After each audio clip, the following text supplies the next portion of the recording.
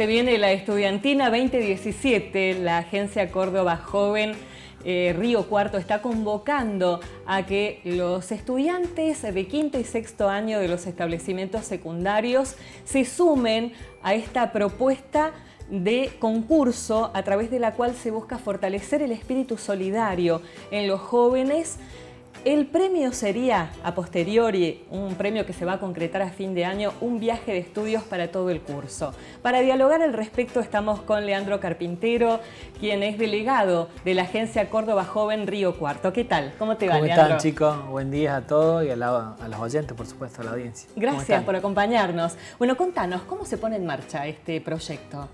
Bueno, estamos muy contentos de la agencia Córdoba Joven, este espacio que tiene políticas para jóvenes del gobierno de Córdoba en llevar adelante este programa de estudiantina 2017 que se genera a partir de la inquietud de muchos jóvenes de nuestra provincia por poder concretar su tan soñado viaje de estudios, que muchas veces por dificultades económicas, obviamente, es difícil hacerlo.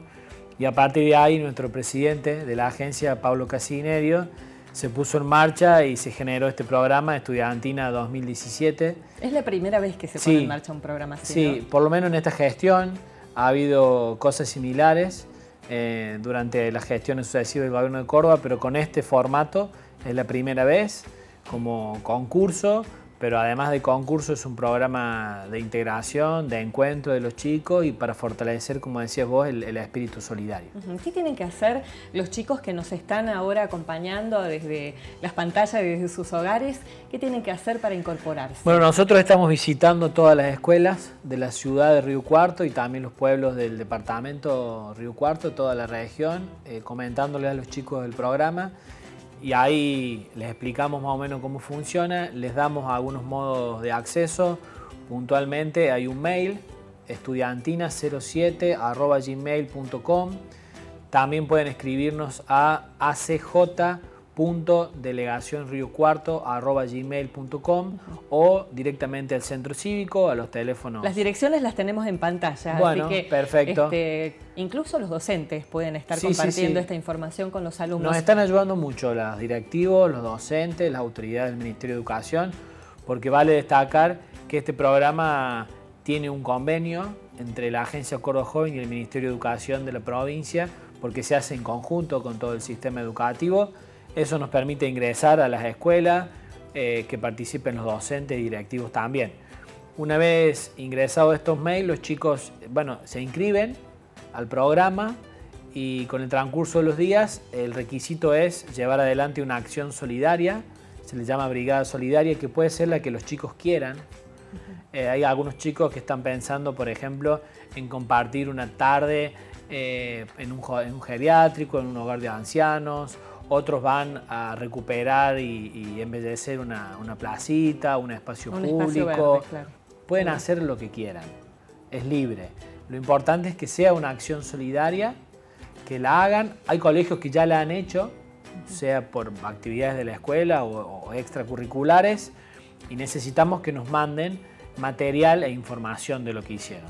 Fotos, y videos, etc. ¿Hay grupos que se han sumado ya? Sí, sí, sí, ya eh, nosotros estamos directamente con nuestros celulares en contacto con no solamente con los docentes, sino con los chicos. Hemos armado algunos grupos de WhatsApp.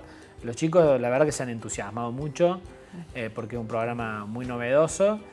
Eh, y el otro requisito, además de la acción solidaria, es una bandera con una consigna, con un mensaje social. También lo que quieran, sobre un derecho, sobre un valor, este, una frase, lo que quieran, obviamente con toda la estética y toda la onda del grupo. ¿Cuál es la finalidad de crear una bandera?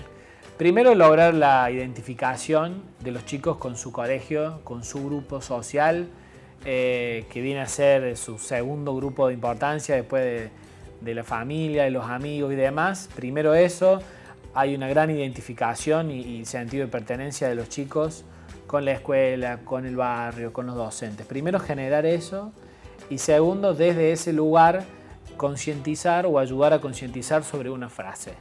Eh, hay chicos que sabemos que van a hacer sobre la diversidad sexual, sobre la igualdad, sobre los derechos de los niños, eh, sobre el deporte, sobre las personas con capacidades especiales, lo que quieran pueden hacer.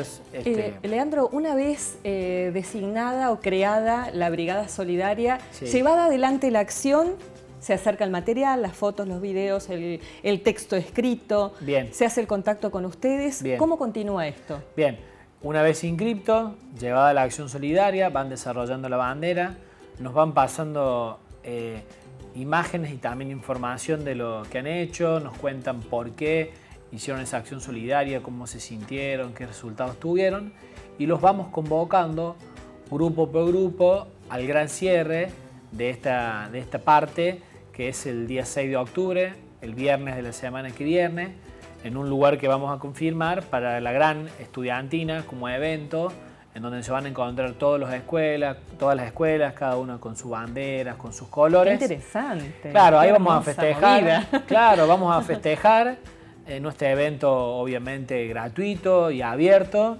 Eh, si el día nos acompaña lo vamos a hacer al aire libre, seguramente en alguno de los parques provinciales, tan, tan lindos que están ahí en las márgenes del río. O sea que los chicos van a viajar desde distintos lugares de la provincia para, hacer, para sumarse a la propuesta. Sí, estamos haciendo lo posible para ayudar a los distintos municipios con el transporte, porque lo primero que solicitan los chicos cuando los visitamos en la región es que los ayudemos a trasladarse a ese Río Cuarto ese día. Estamos haciendo todo lo posible desde el centro cívico. Eso va a ser el 6 de octubre. 6 de octubre. ¿Ahí se designan ya los grupos ganadores del concurso? Bueno, ese día eh, los chicos van a, van a presentar su bandera, vamos a pasar un audiovisual con todas las acciones solidarias, vamos a formar un jurado de Río Cuarto y la región con personalidades destacadas del arte, de la cultura, del espacio público, privado, docente. Vamos a hacer un jurado obviamente prestigioso, objetivo, para que le elija a, preseleccionados y a partir de ahí los ganadores de este viaje, que van a ser al mínimo tres o cuatro del departamento Río Cuarto. ¿Esos tres o cuatro son primero, segundo, tercer, cuarto premio o están todos en el mismo nivel? No, no, van a estar todos en el mismo nivel, se eligen esos ganadores teniendo en cuenta la bandera y la acción solidaria. Eh, ¿Cómo cierra esto? El broche es el viaje. El viaje. El, viaje, que va a ser dos lugares, eh, dos destinos de la provincia. Sí, en Alta Gracia y Santa María de Punilla, ahí en las colonias que tiene la provincia, van a estar tres días y dos noches con todo pago. Vamos a coordinar con la escuela obviamente la fecha del viaje para no estar afectando el cronograma de exámenes y cierre de las materias y demás. Eh, con absolutamente todo, eh, todo pago, un viaje armado para que la pasen bien, para que se encuentren, para que disfruten. Eh, van a salir de acá sin necesidad de gastar un solo peso. Leandro, te comprometemos a vos entonces y a tu equipo de trabajo para que nos vayan informando respecto de cómo evoluciona esta propuesta. Al contrario, nosotros les agradecemos a ustedes por ayudarnos a difundir. Convocamos a todas las escuelas de colegios públicos, privados, quinto y sexto año, Ciudad de Río Cuarto, Departamento Río Cuarto a que se comuniquen con nosotros, eh, Centro Cívico de Río Cuarto, Agencia Córdoba Joven, también los chicos de la municipalidad, Subsecretaría de la Juventud nos están ayudando mucho, así que bueno, aprovecharlo. Leandro, ha sido un placer contar con tu presencia aquí en nuestros estudios. El placer ha sido mío. Gracias. ¿eh?